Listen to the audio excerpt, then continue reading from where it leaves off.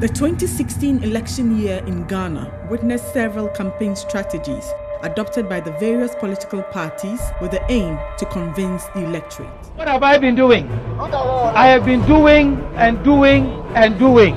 This one, you can call him a doer. So, this election, it is one doer versus two promises. no na rollins kan no ɔmo wɔ hɔ akyɛ na ɔmo da so wɔ hɔ. Ɛyɛ ɔmo taa sisa ɔmo din. Ɛna ɔmo yɛ pp bibi. Ɛkyerɛ pp pp pp pp ɛsesa din no ma pie ne bɛba. eight years de ewu sa wɔ ɛniba yɛ ba bɛ tena wa another four years. We have to save Ghana from John Dramani Mahama and secure the future of our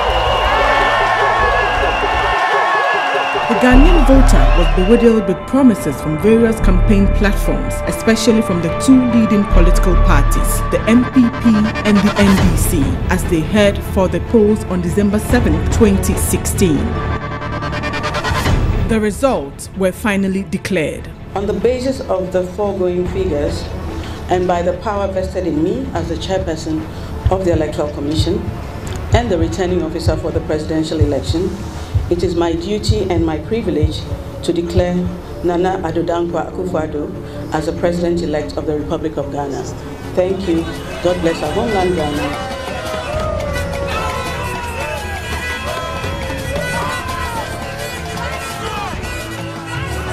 On the 7th of January 2017, the president-elect Nana Addo Dankwa Akufo-Addo was sworn into office with many hopeful his government will deliver on its promises.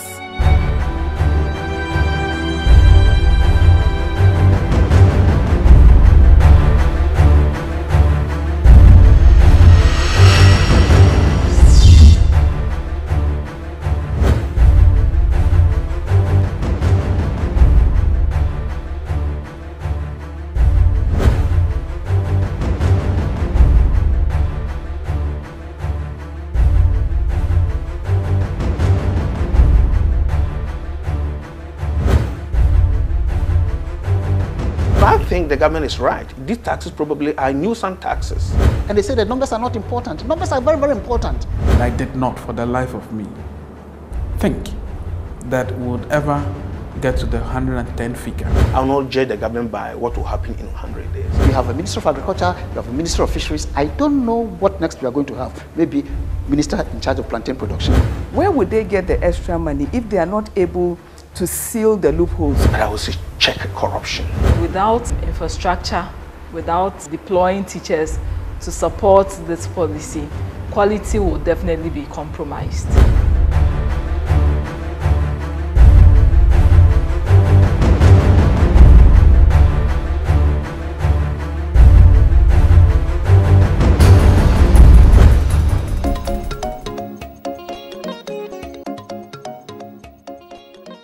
The 63rd day of the Akufo-Addo led government recorded a total number of 110 ministerial appointments, the biggest size of government since independence. The president faced criticism on the size and the costs of running a big government. I quite frankly think that appointing so many people to ministerial positions is not the best way to go.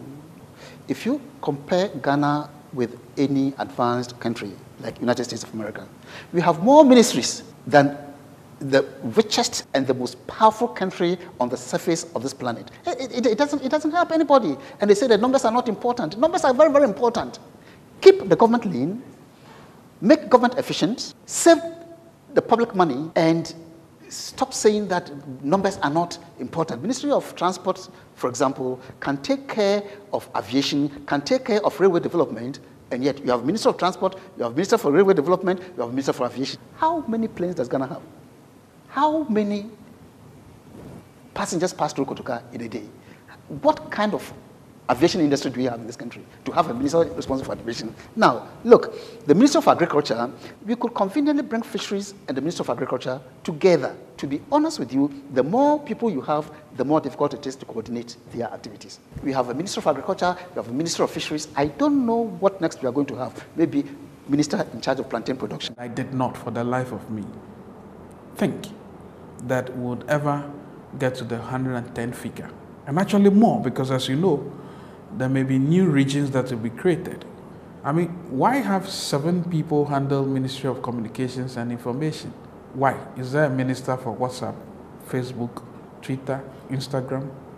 I don't get it. We should stop this practice of saying, eh, oh, numbers don't matter. The numbers don't matter. It's the, how effectively they work. It is even in the interest of the presidency to have a small, cohesive government, number of ministers whose activities can be very easily coordinated and supervised. President Nana Addo has severally expressed his commitment to empower Parliament to deliver on its core mandate effectively. Some suggestions on ways to build the capacity of Parliament were made when we interacted with Dr. Jonah of the Institute for Democratic Governance. The Ghana Parliament has two sets of weaknesses. One of them external and the other one internal. So we refer to these as relational capacities.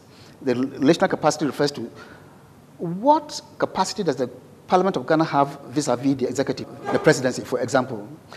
If you scrutinize the relationship between Parliament and the presidency, Parliament is so very weak. Why? Because the Constitution mandates the president to appoint the majority of his ministers from among the members of Parliament. And so these are people who belong to the executive. So the executive will take a decision they will, as part of the executive, they will take a decision and rush the Ghana Parliament to come and vote for it. We need to change this. And in fact, very many good suggestions have been made. For example, the Constitutional Review Commission said that the relationship between Parliament and the executive is working to the disadvantage of Parliament. Therefore, in the view of the members of the Commission, the number of ministers who should come from within Parliament should be reduced.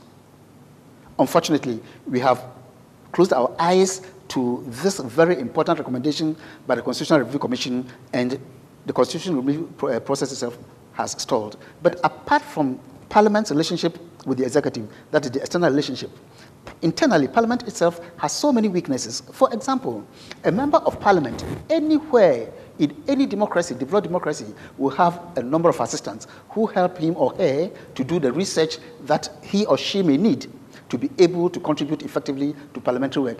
This is not the case in Ghana Parliament. In Ghana Parliament, what they do is they engage national service people collectively for the House. So no individual member of Parliament has a number of assistants attached to him or her to do the kind of research he needs. This is a major weakness, and I think we should be able to address this as quickly as possible. It is not only that, but members of parliament, you know, the, the, the, the, the, work they do is both within the parliament and outside parliament. You have constituency relations. So if you are a parliamentarian, you do your work inside parliament, and at the same time, you must be catering to the interest of your constituents. A member of parliament should have enough funds available to be able to employ people who go between him and his constituency. He may he can even set up a constituency office, office located right in the constituency with staff who are able to communicate whatever it is that the constituents are concerned about effectively. members of Ghana Parliament don't, don't, they cannot afford this.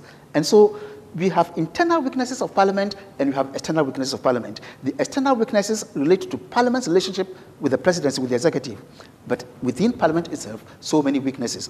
Take a look, another look at um, for example, the library of the Ghana Parliament. In every democracy, the parliamentary library is the biggest and the most famous library. The library of the House of Commons, the library of Congress, these are the top libraries in the world. You go and take a look at the Ghana, Ghana, Ghana Parliament Library. It is uh, uh, somebody call it a two by four chamber. a two by four chamber, inadequately equipped with the latest journals and the books and so on and so forth. And so members of parliament are not able to do the kind of research they need to do before they can make the effective contribution on the floor of the House. But Nana Addo, since he has decided to build the capacity of Parliament, must look at all these problems one by one. Do our members of Parliament have enough assistance to help them do the kind of research they need to do before they can deliver their functions within Parliament effectively? Do members of Parliament have assistants who go between them and their constituencies And then do uh, members of parliament have a very respectable, well-equipped library? These are problems that they need to look at, not, uh, how do you call it, um, uh, when they finish their and they are getting their ex gratia, that, that, that has become the main concern there are very serious problems that we need to do to make the members of parliament very, operate very, very effectively. The NPP's 2016 manifesto also promised to establish by an act of parliament an office for a special prosecutor who will be independent on the executive to investigate and prosecute certain categories of cases and allegations of corruption. Questions on the independence of the special prosecutor have been raised. If we are having an independent prosecutor. It should be truly independent, an independent prosecutor that has a tenure of office that will not feel um, that the executive will interfere with their work. An independent prosecutor also that also is accountable to the citizens of Ghana at the same time, an independent prosecutor that has the resources that they need to work because we always talk about these institutions having difficulty because they do not have the adequate resources. So if we create another structure that is resource strived, then it also makes it back to the same issues that we have already. So how do we ensure that the independent prosecutor gains some uh, independence so that even where corruption is detected, even in the executive, the independent prosecutor can boldly, boldly in, in, in caps, uh, pursue uh, that without even having any fear.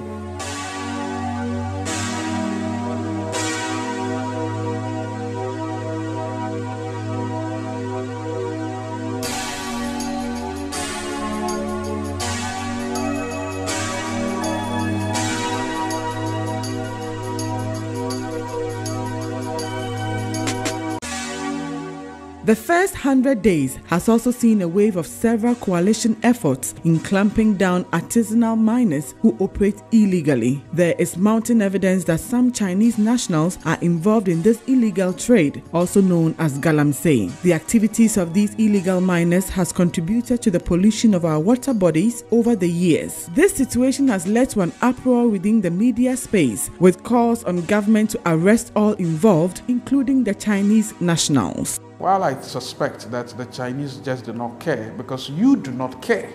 If you cared about your externalities of polluting the rivers, I'm sure the Chinese would have cared. This is a matter of resource allocation.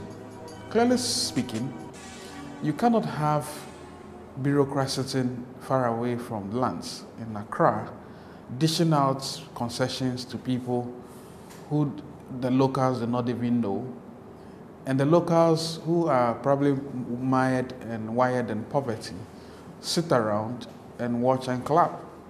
It will never happen.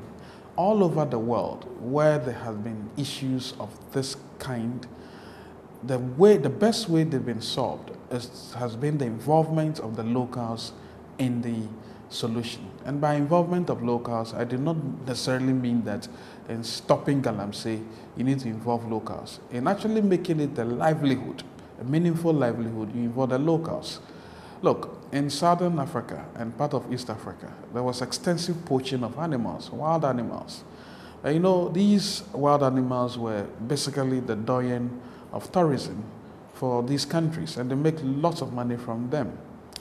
Now, locals do not understand why the state will allow foreigners to come in, as they call it, trophy hunting, pay $100,000 to kill a buffalo, for instance, and the state appropriates all of that, leaving virtually nothing for locals who actually live within these areas where these um, hunting is done. So, what did the state do? They decided to involve the, the locals in not just of course, the management, but also in the sharing of revenues. And that is how come poaching significantly eased. So the moment you make something illegal without thinking about the root causes, I'm sorry, you come back to the same issue again. I think the best way to solve galamsey is to first of all decentralize our mining laws.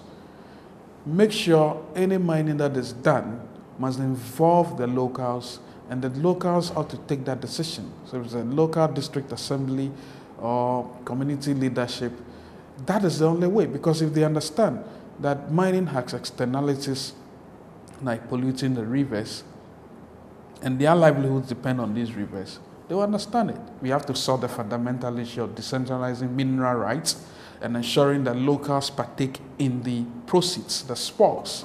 That is how you organize property rights.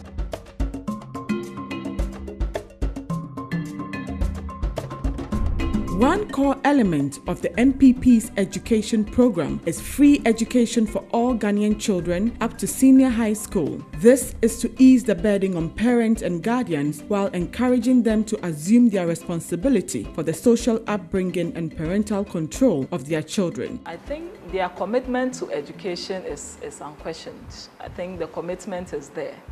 It's about the timing and the manner in which the actions or the initiatives are being taken. When you look at the sector, right from the foundation, the early grade, there are so many challenges. For instance, we have an issue with a high number of untrained teachers in the public schools.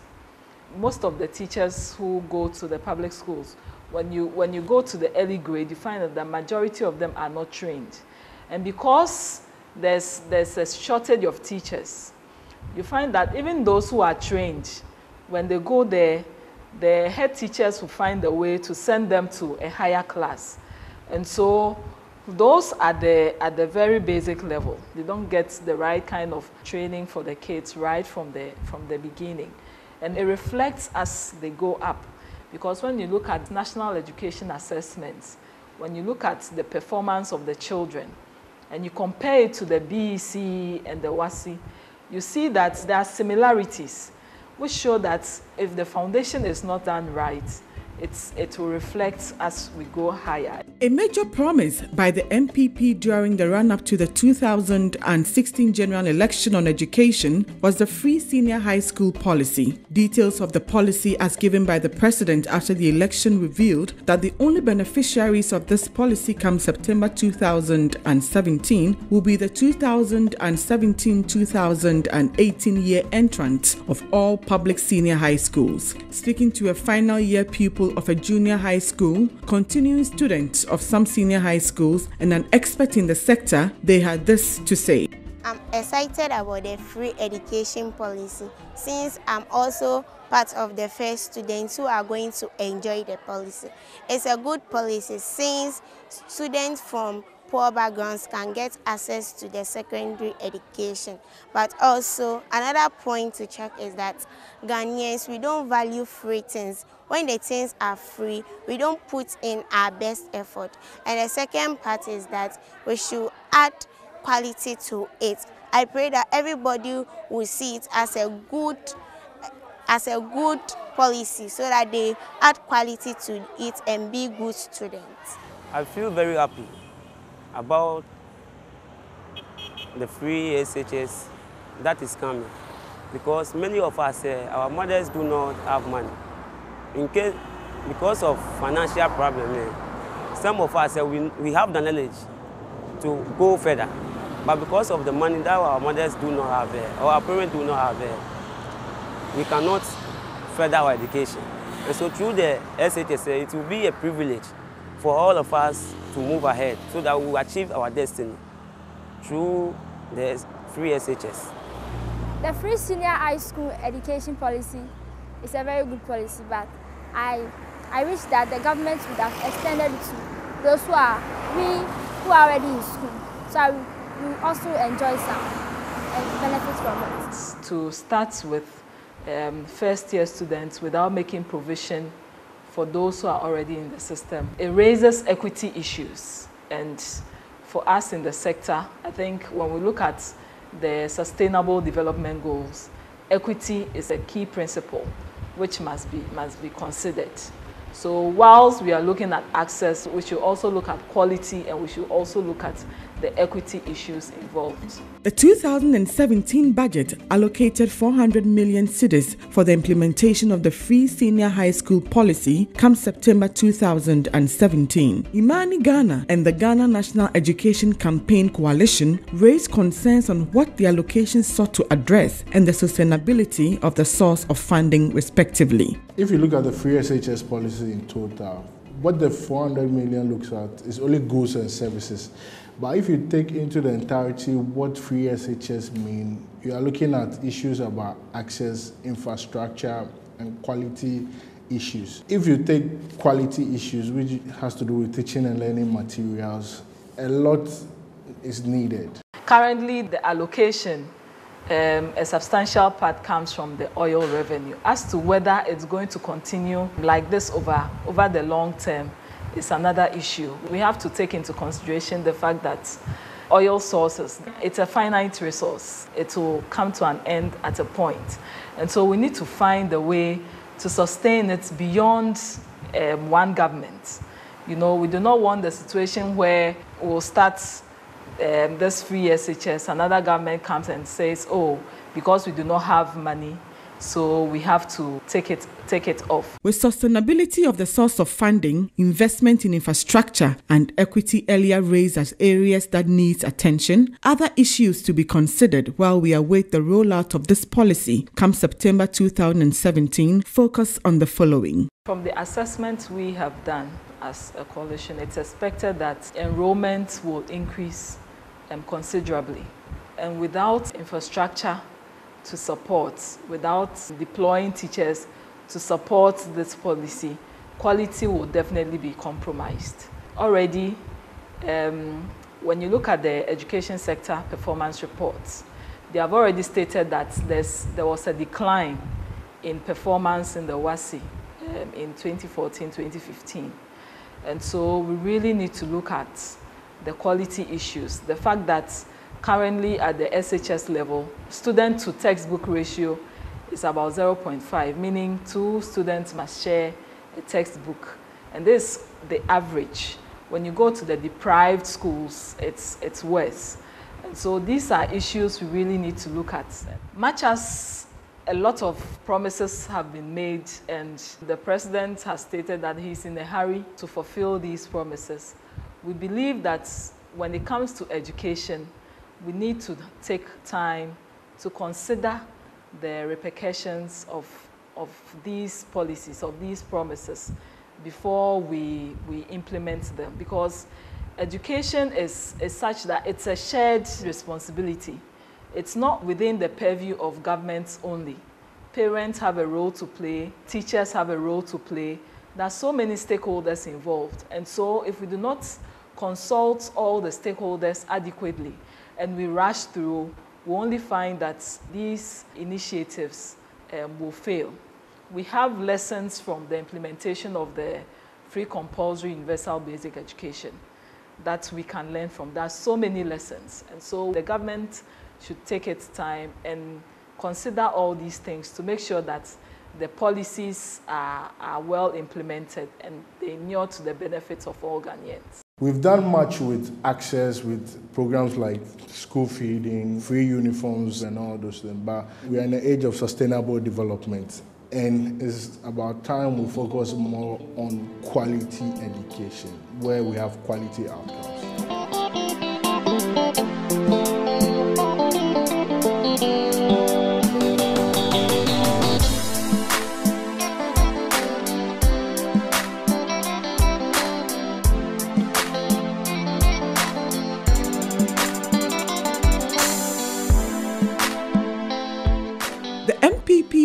To reduce and reform a number of taxes, which they have broadly followed through by announcing 16 tax incentives in its maiden budget. Majority of these tax cuts attempt to incentivize a private sector led production.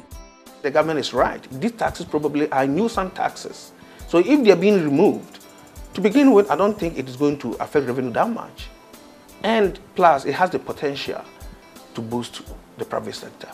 The challenge, however, lies in the extent to which the private sector responds to the tax stimulus. Already, concerns of a volatile Ghana cedi poses a threat to realizing the full gains of the tax incentives as investor confidence is yet to be restored. The Ghana cedi, though, has achieved relative stability towards the end of the first quarter of 2017. When it comes to depreciation of the cedi, you are looking at the short term and the long term. Of course, you all know that in the long term, you have to be able to diversify our exports. If you could, in fact, industrialize export manufacturing items, you know, basically changing the structure of the economy. That will what will stabilize the cedi in the long term. But in the short term, what is causing the cedi instability is the fiscal imbalance we are having. The deficits have been so high. And if the deficit is high, you tend to borrow. So domestically, you'll be competing with the private sector. Internationally, there's interest payment that you need foreign currencies to service your debt. All these things bring the instability to the cedi. So in the short term, to be able to stabilize the cedi, you need to put your fiscal situation in order.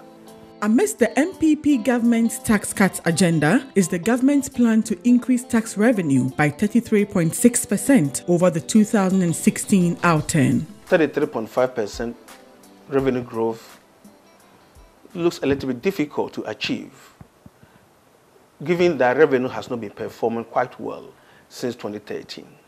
Nevertheless, if you look at history, probably starting from 2001, 33.5% revenue growth is not out of work. To achieve this revenue target, the NPP administration promised to broaden the tax base by formalizing the economy through the establishment of a national database. Against this background, the government has allocated 100 million cedis in its maiden budget to revive and roll out the National Identification Scheme, the NIS. It also intends to implement a National Digital Addressing System, NDAS, in 2017. Aside implementing NIS and NDAS, the government must critically address the challenges in the Ghanaian business environment and the disincentives hindering businesses in the informal sector from entering a culture of compliance. The government must therefore increase business engagement to improve information availability on the formalization process. The issues of low trust in public institutions and perception of institutional quality must be addressed. Corruption, weak rule of law, and lack of accountability are some of the excuses people use to justify tax evasion and also increase transparency and education in the tax collection process. One of the best ways they can raise revenue is to go back to the districts, go back to the drawing table, and ensure that property taxes. In fact, the vice president is on record to have suggested that they will digitize all properties in the country. That's not enough. That alone will not bring you money. What you need to do is to go further to ensure that there's proper valuation of all landed assets. And once you do that proper valuation, you'll be able to determine the realistic rates that should be charged, and that way you pull a lot of funding. Over the years, the inability of successive governments to generate enough revenue to finance its growing expenditure has plunged the country into huge fiscal deficits. Fiscal deficit at end December 2016 was 8.7% of GDP. The new government has projected the deficit to GDP ratio of 6.5% and has decided to resort solely to the domestic market to finance its deficit and even to pay off some of its external debt. There are positives and negatives when you're borrowing domestically as compared to foreign borrowing, and vice versa. When you are borrowing internationally, there is exchange rate risk, can run into exchange rate risk in the sense that you borrow today, the exchange rate is stable, but the time that you want to repay, the exchange rate is unstable and the cedi is depreciating. In that case, you need more and more and more cedis to be able to change it into foreign currency to service your debt. But then in the short term, when you're doing international borrowing, the benefit is that in the short term, you get inflows of Uh, foreign currencies, which will help to stabilize the cedi in at least in the short term. But when you are also doing domestic borrowing, you tend to crowd out domestic investment because the same funds that private, the private sector needs to borrow. So when you are doing so much borrowing domestically, you'll be competing with the private sector interest rate will be increasing. The government's interest that it will pay on the debt is going to go up. The private sector too will have to also borrow at a very high interest rate and it could affect growth. Though the Bank of Ghana has revised the monetary policy rate downwards to 23.5% for the first quarter of 2017, much needs to be done in order to facilitate access to credit and hence boost economic growth. Domestic borrowing must be carefully phased out with strict limitations on arbitrary borrowing. The function of the credit bureau in the financial industry must be strengthened to enhance the availability and dissemination of credit information. In the medium term, the government must expedite its efforts to deepen the financial market as promised in the 2016 NPP manifesto. Funding options like corporate bonds and municipal bonds can be exploited by the private sector and state institutions as a source of external long term financing and as an alternative investment for banks. With a consistently high fiscal deficit experience over the years, the Nana-Addo led administration promised to introduce a fiscal council to bring sanity to the fiscal process. Looking at the history of public financial management reforms in Ghana, is a fiscal council sufficient to address the fiscal indiscipline in the country? When you enact these laws, establish these councils, and the commitment to achieve sanity in the system is not there, then not much can be done. After all, the existing structures are sufficient enough to ensure that sanity is achieved in the system. But the problem we have currently is the commitment, the dedication on the part of the government to ensure that um, those things we call laws are at, at least implemented. They are ensured that they are working. If such a thing happens, then there will be sanity. Then fiscal stability could be achieved. But if you do bring all these institutions into play, into the scene, but you allow them not to work as they are supposed to be, then it will mean um, those things are just institutions and you'll not be gaining much from them. In a nutshell, to put the economy on the path of growth, the government must fix the fiscals, cut down the deficit, remove waste in the system, in the short term, much of the problems we're experiencing now is because the deficit is too high. We need strong fiscal consolidation. If you're able to fiscally consolidate, cut down the deficit, minimize borrowing, then at least you provide the enabling environment for other things to start working.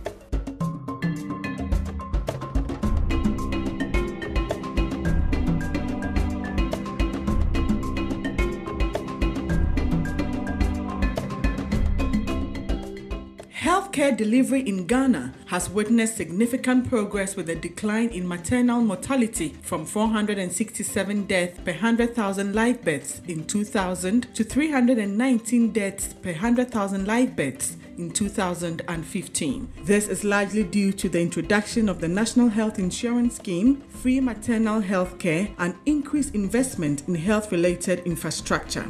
The National Health Insurance Scheme, introduced under the Kufuor-led administration, was to make provision for equal access to healthcare for residents in Ghana. As of June 2016, active membership of the NHIS was 11.2 million, representing 41% coverage, with government increasing its funding by 15.84% from 2015 to 2016. However, there are frequent cases of the National Health Insurance Scheme being in constant arrears with service providers. The major challenge is the politician. We pay premiums, we pay taxes, the 2.5% of VAT goes to that. Unfortunately, year on year, these funds that are ordinarily called earmarked funds are not necessarily earmarked for the various projects they are supposed to execute within the National Health Insurance Scheme. And secondly, as long as we keep recruiting people and keeping the fees the same, as in the taxes that feed the scheme the same, it will still have the challenges it has. Samuel Zan Akologo, the Executive Secretary of the Department of Human Development, National Catholic Secretariat, believes that aside the delayed disbursement of funds from government, the splurge on overhead costs and infrastructure form the bedrock of these challenges. The problem of the national health insurance is not just the quantum of money, but it is about the prioritization of important services. In my opinion, I think the National Health Insurance is spending too much on overhead costs and infrastructure. So you go around and you see the level of buildings, the kind of transport, the, the number of staff who are employed. My question is, is that critical? Is that fit for purpose? So I think what we need to do is look at how the National Health Insurance Fund can actually be applied to those providing the services rather than spending all of that, uh, so much of it in uh, overhead and administrative costs. With the foregone factors identified as problems plaguing the health insurance scheme, what are the best solutions out of these quagmire? Introducing private pathways to ensuring sustainability of the scheme. By private pathways, it doesn't necessarily mean you need private practitioners to handle it all you need is that the premiums that are paid, uh, if you like, differentiated in such a way that those who could afford more pay more for better services, and those who cannot afford more get help from the taxes so that they can also get some decent care eliminate dubious claims, eliminate corruptible practices. When you eliminate uh, dubious claims and you have proper ways of verifying and making sure that you do not accumulate arrears, pay as and when they come. Moving forward, are these recommendations enough to help government fix the challenges with the National Health Insurance Scheme? I will give them the benefit of the doubt. I think that they have um, they have a basis for us to hold them to, which is the uh, manifesto promise. We have heard some statements uh, in the State of the Nation address. The budget is an important instrument to deliver what they have promised, but my strongest view is let us not leave it to them and say, oh, with all of this, they will do it. I think what we need in this country is civic vigilance, the agency of citizens really making demands and consistently so, and making sure that governments will deliver what they have promised. If we wait and just think that they will do it, only to lament, I don't think that is good in, enough. I do not know of any single government anywhere in this world that would do everything for the common good without prompting from citizens, without a system of checks and balances and pressure, including pressure. Mr. Speaker, probably the most difficult problem that has dogged this nation in the past five years has been in the energy sector. This has caused havoc in small, medium, and large enterprises. The attempts by the previous government to resolve the crisis have led to a gargantuan debt overhang in the sector. We have inherited a heavily indebted energy sector. Suck.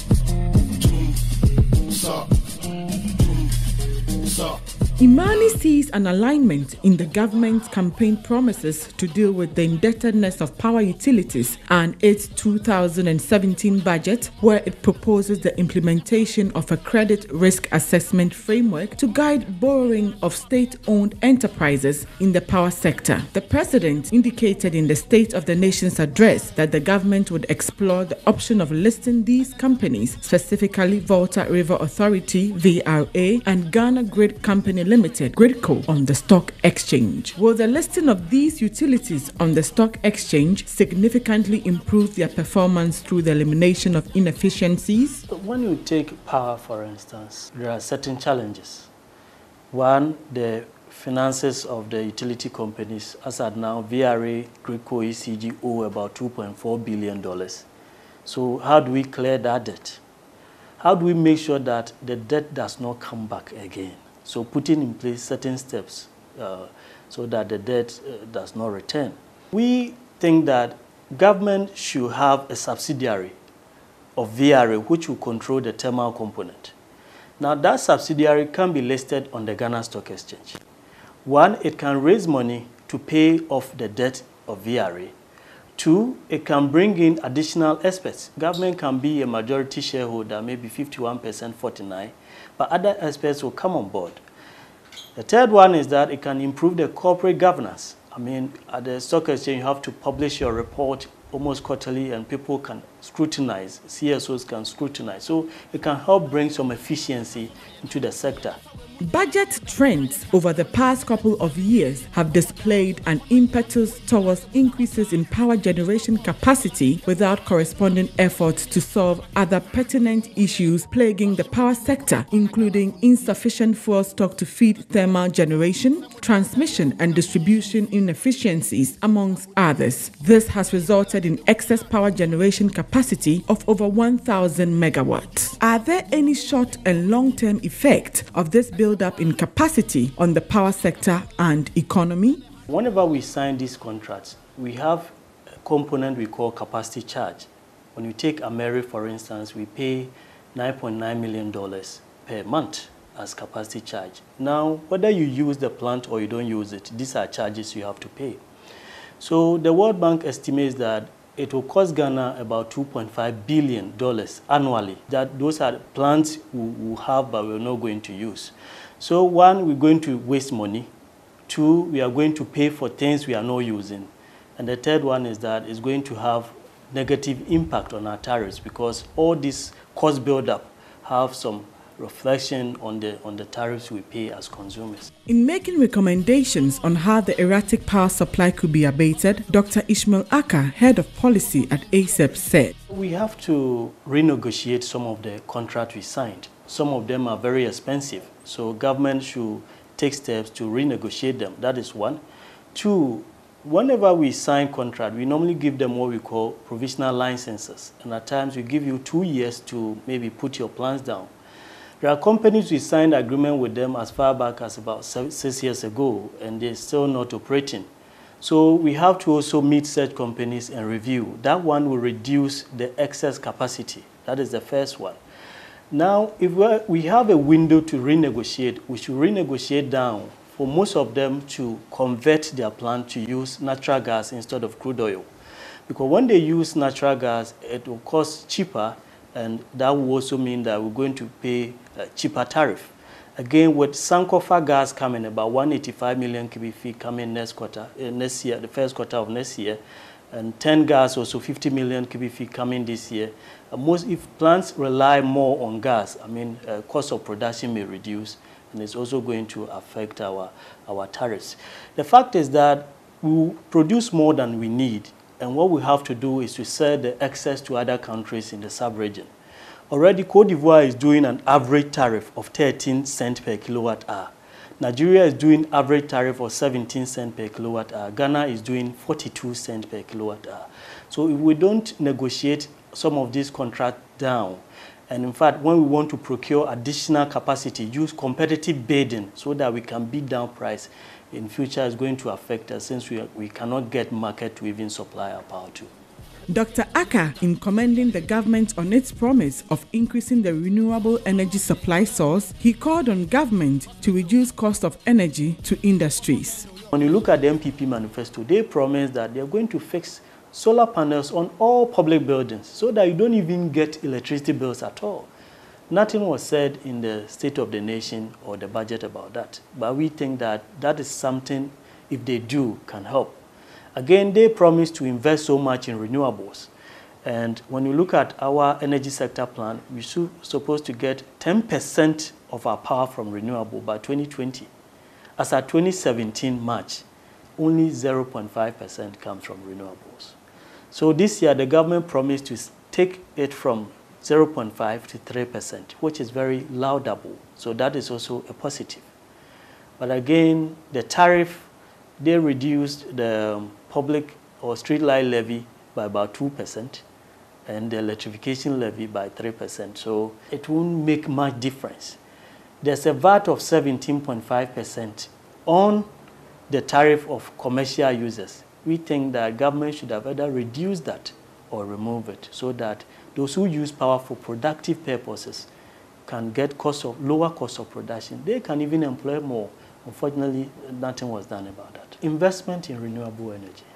When I say investment in renewable energy, I'm not saying that we should build very large solar parks. I'm talking about generated yourself initiatives. For instance, people are putting up uh, real estate. Can we have some negotiation with them? Every new building you put up, you put solar panel on them. Then we fix what we call net meters for all these people. When you generate 100, but you consume only 70, you can sell the rest to government. That alone can lead to efficiency. That alone can take so many people from the grid so that the grid can feed industry. That alone can generate jobs for people.